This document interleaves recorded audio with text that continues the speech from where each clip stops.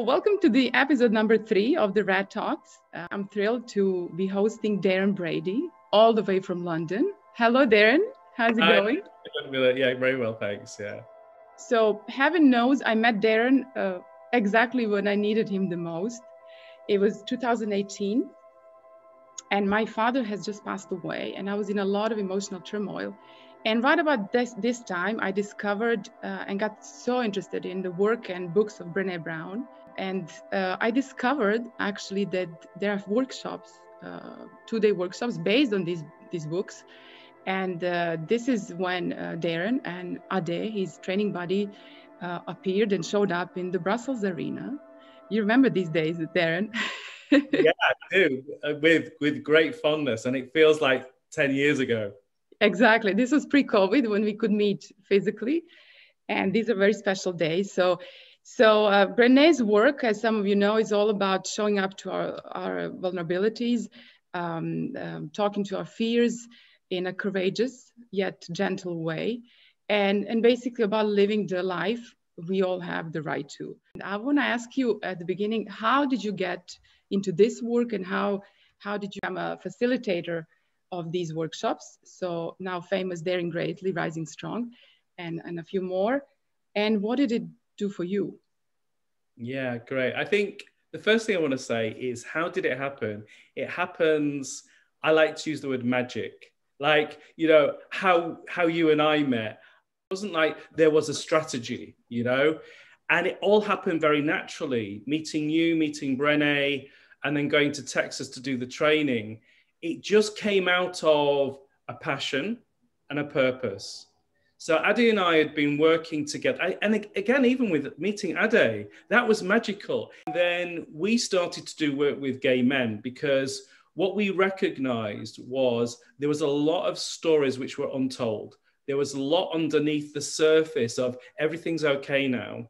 You know, we've got yeah. kind of equality in the Western world and all that kind of stuff. But um, underneath the surface, there was all these untold, often traumatic stories.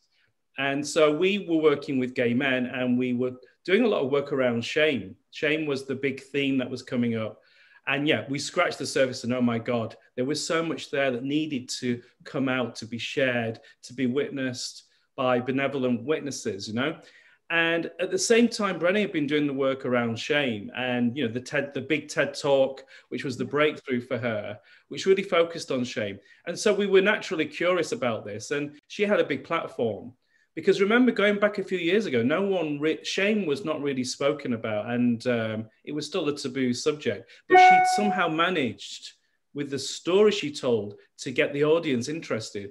So unbeknownst to me, Ade just um, emailed her and said, yeah. I believe you're coming to London, you're doing a book thing. Could we meet you and could we talk to you about what we're doing? And uh, she said, Yes. She said, Yeah, I'll, I'll meet you. Oh my God, this, this is Brené Brown inviting us, you know? And so um, she said, Would you like to come to Texas? And we were just like giggly girls and, you know, like, Yeah, of course. Yeah, you know. Yeah.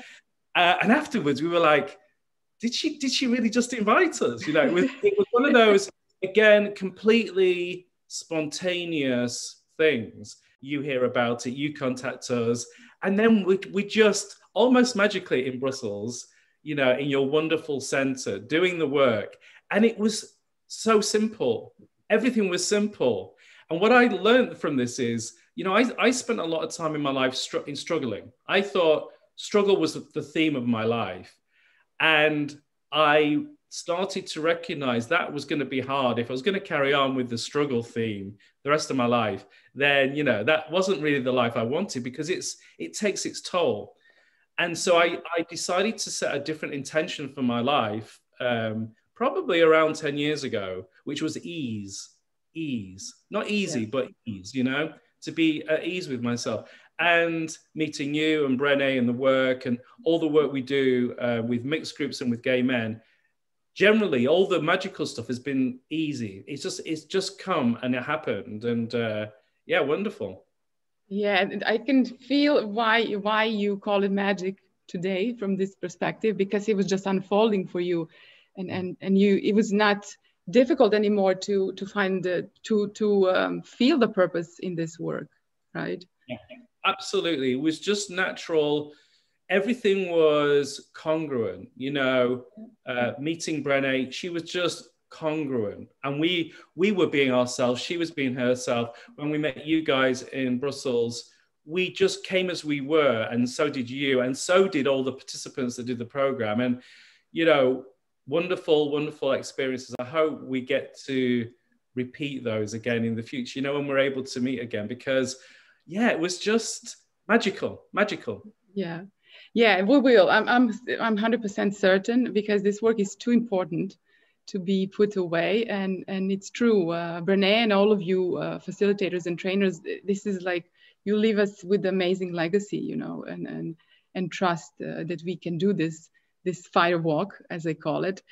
Um, I also know that you are um, deepening this this path and and also developing other little projects around um, authenticity, uh, speaking really truth, and and um, being in, in in it fully. So I want to um, take you now to another project of yours, which is called the Hush, the famous Hush events. Um, I was also lucky to be present at one of them.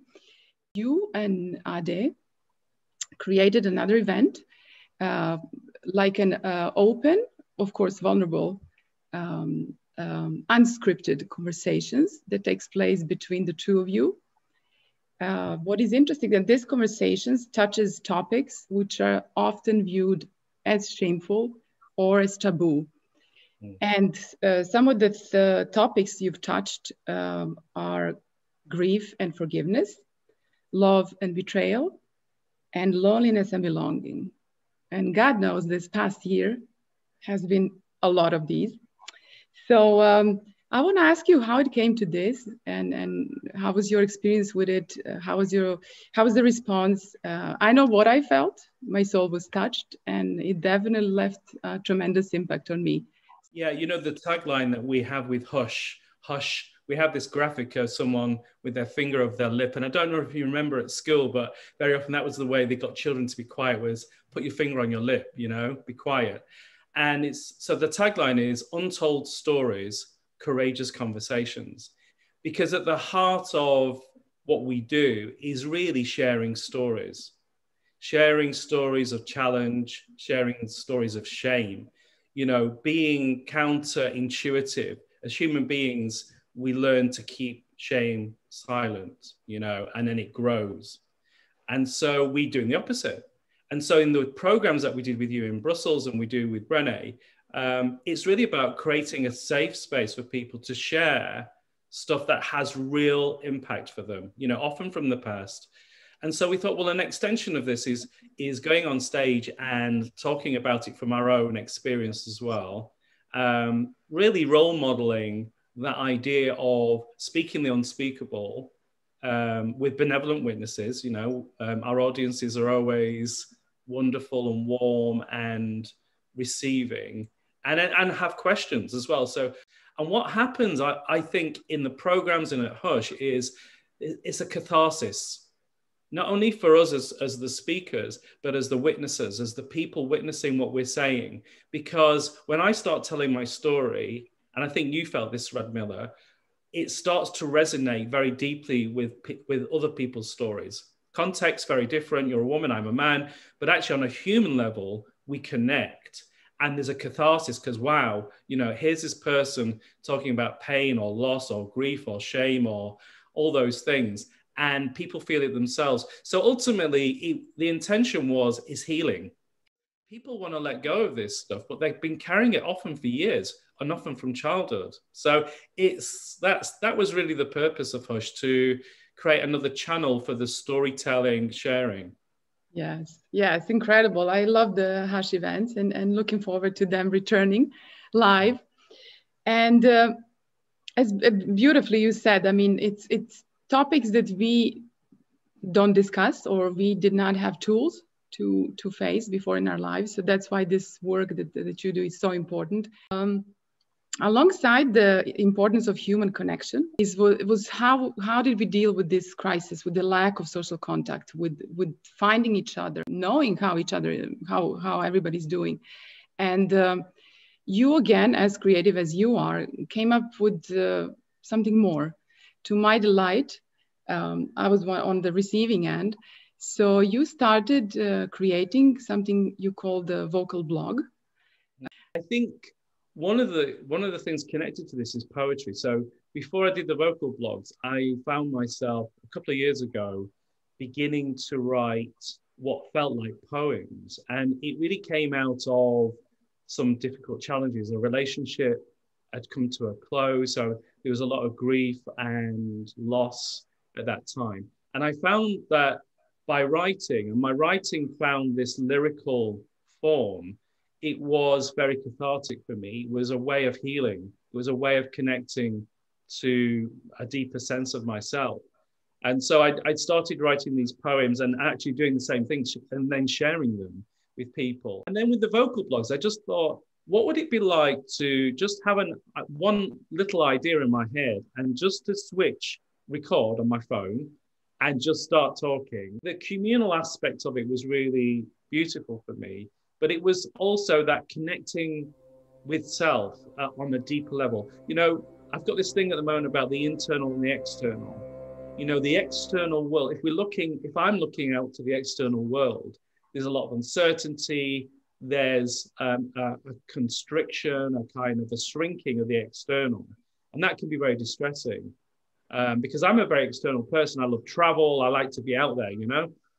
And so what I've had to do is is often remind myself to go inside to find my own peace, to find my own calm and stability, because out there often it's not providing that for me. So. I think poetry and the vocal blogs was me saying hello to myself on a deep level. This is what I also felt like in a time of crisis um, and, and, and needing more, that we do have a possibility to turn to ourselves and, and you know, sometimes a creativity boost. Um, so I also started uh, writing uh, longer pieces, shorter pieces, poems um, in the last year. And um, actually, I wanted to invite you for a little play now, uh, mm. which I call Back to Back, uh, to share something that we've done, that we've created in this period. When my thoughts just aren't that good enough, when they twist my anxious innards, when they gnash my teeth, become the thief of thinking that things matter. I need some inspiration. I need a helping hand. I need a thought that lifts me from this familiar sinking sand. I need those shining speakers, lauded thinkers, pioneers. I need those who stood up to say all is not what it appears. I need to pick up books, stream music to my ears. I need to stretch, look up, reach out to those who welcome my dilemma, to lovingly remind me it will not last forever. I need to jump, run, turn around, and spin in furvish manner, to shake and wake the parts of me submerged in heavy matter.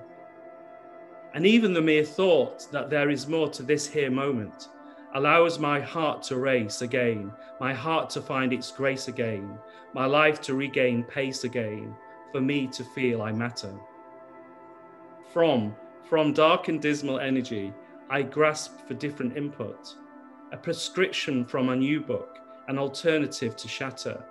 These boring, turgid thoughts that rumble in my head, that rather than enhance my life, do the opposite instead. And I find them in their multitudes, the visions, dreams, and matter that offer me salvation of my going nowhere chatter. I love it. Thank you for sharing. Yeah, Thank let's go. I'm excited to hear your Yeah, voice. back to back. Okay, so I'll read the, the nature of godliness. Here it goes. There is nothing to say, yet there is so much to say. A whole world at hand, yet a view through a keyhole. An ocean of feelings, yet a barely dripping tap. Sometimes memories are ever present, and they gift us with an invite to build more of such precious threads. They are reminders of the bridge we once built, and that we are cap capable of sowing the same seed of godliness again. It is our nature, and no one or anything can take that away from us. Yeah, I love the image of the keyhole, like the the kind of close focus and the yeah, exactly, narrow looking. yeah, and the dripping tap and the smallness of things, and actually how much power and beauty there is in the small things, you know, as well. Um, yeah, it's gorgeous. I want to um, conclude with something that came up to my mind and to check with you. What do you think about it? So we, in our work, both yours and mine, we talk about um, a lot about being vulnerable and the importance of being vulnerable in order to to create this human connection. Um, I also found out that for us to be creative, you know, to really use our creative force, it's the same thing. We have to be vulnerable because we are showing that creative side to the world. So we got to put it out there. And I wanted to ask you then um, could it be that in the times of crisis or, or big tests and trials, um, we can become more resilient through through unleashing that creativity within us um, how are they connected is, is is the power of vulnerability power of creativity it's a very good question i think for me being creative is around, about tapping into trusting there's something within me and tapping into that thing if i don't trust i won't allow I won't allow myself to, to surrender to the creative force. So within I, I know my best, my most powerful, I should say, poems are when I surrender to to what's within me and it just comes out. It's like I'm just the conduit. I'm not really the creator. It just flows out. And yeah. so I have to trust that. And that's there's a vulnerability in there. But I think for me, it, it is really critical at this time and even before when I was going through challenges to connect to myself on this very deep level. Creativity to me is is a spiritual act.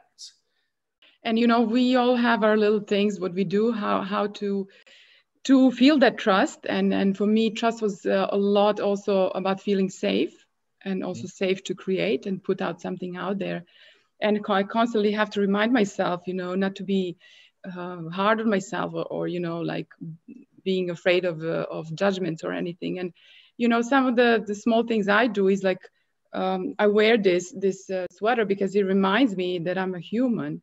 Fair enough, I have something very funny for the end. I yeah. thought of something. If you could have a wish that involves me, yeah, whether it's a reality or a fantasy, doesn't matter. What it what would it be? If I, if I could, I'd like to see Darren as a cameo cameo appearance in the next season of Bridgerton, as as the as the as the Duke of as the Duke of Soho, let's say.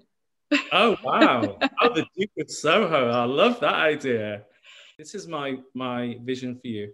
I want to be present at your book launch, which I know that you're in writing a book and I want to be, I can see this really big book launch where you're reading from the book and I'd just be in awe of you and one of your honored guests. And I'm imagining like 300 people in a room with you in the center of the room, uh, reading from your book and these piles of books. And yeah, yeah, I, I think that would be. Uh, oh my, my God. Wow, it's fabulous. I love it. Thank you so much. Thank you so you, much. Thank you for the opportunity. This has been a wonderful way to start my morning. So I really appreciate the opportunity. Yes. Yay. Thank you, everybody, for watching us, for listening to Darren and me uh, chatting up our creative stuff. Um, looking forward to hearing more and doing more with Darren in the coming years. And this has been the third episode of the Rad Talks. See you soon.